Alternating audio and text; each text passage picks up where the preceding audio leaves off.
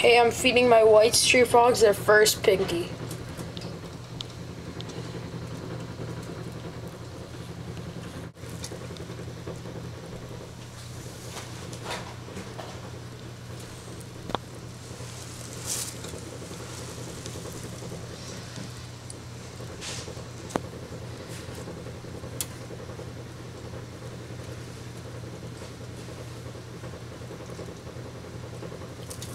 Whoa!